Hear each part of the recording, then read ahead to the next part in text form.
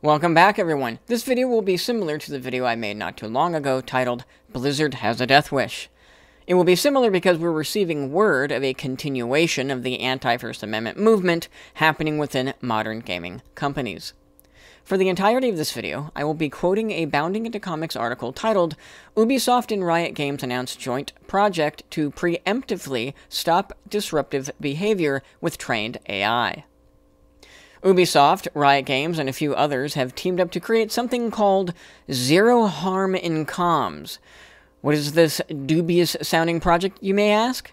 Well, according to Bounding into Comics' reporting, the project is described like this. Ubisoft and Riot Games have joined forces for a new research project in the pursuit of making online game spaces safer. Safe spaces, guys. Safe spaces. Ubisoft described Zero Harm in Comms in this way. At its core, the Zero Harm in Comms project aims to create a shared database of anonymized data used to train Ubisoft and Riot's systems to detect and mitigate disruptive behavior. The shared venture goes on to explain We cannot solve it alone. We want to build a framework for this, share the results with the community, see how it goes, and bring in more people.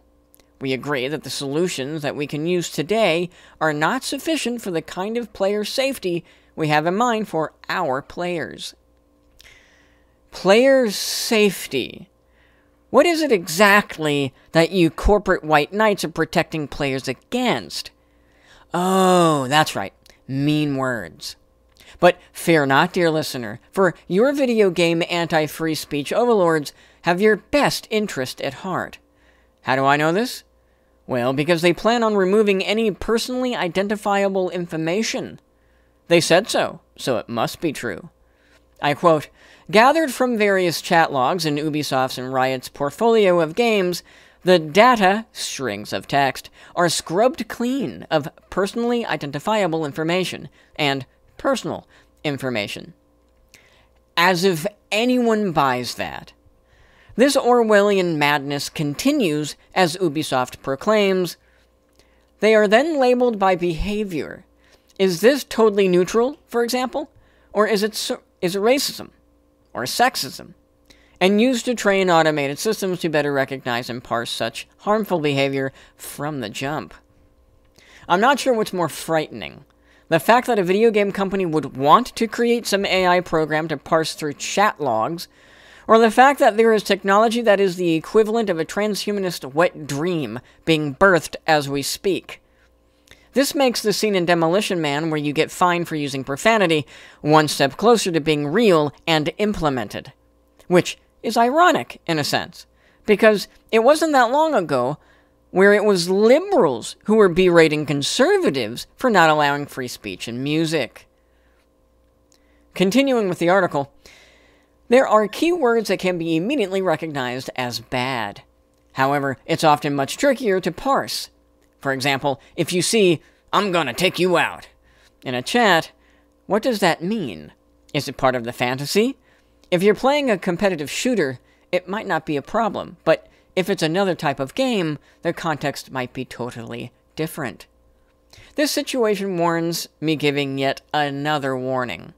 What Ubisoft and the other companies seem to forget is that if they ban certain words, it won't take long for some snarky edgelord to conjure a new slang term that means the exact same thing. Before Censorsoft can ban that word, there'll be a brand new word to immediately replace the old one. This will undoubtedly create a game of tag for these companies, and that gamers will outrun these companies guaranteed. Moving on with the article, it's not shocking that the video game speech police were quick to say something like this It's 2022. Everyone is online, and everyone should feel safe. Period. Safe from what? Words? This is about as anemic of an argument as I suspected their arguments would be. They want to remove your freedom of expression because they don't like the words you use.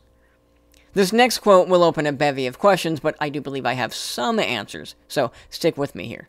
I quote As members of the Fair Play Alliance, both companies believe that improving the social dynamics of online games will only come through communication, collaboration, and joint efforts across the gaming industry.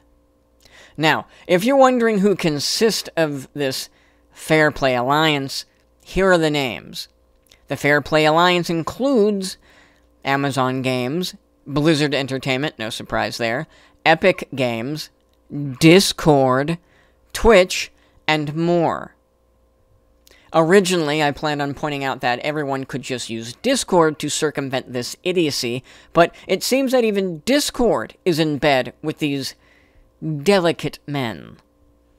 So, if Discord is involved in this open conspiracy to quell freedom of speech, the question is to what extent will Discord flex their authoritarian powers? Will they start making a beeline to certain game servers and start banning people left and right?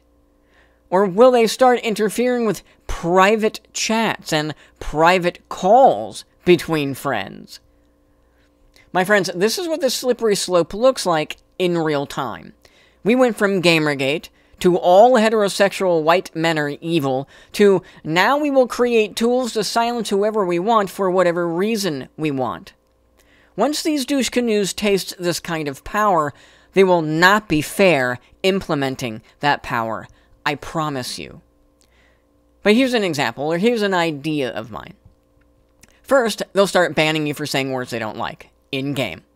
Then they'll start banning you preemptively for things you have said somewhere else online.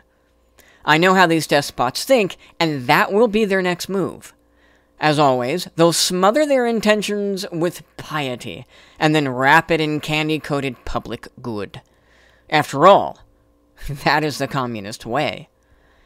Remember, everyone, absolute power corrupts absolutely. That's it for this video. As usual, if you like what you heard, feel free to body slam that like button.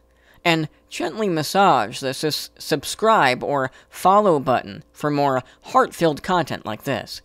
Until next time, everyone, have fun.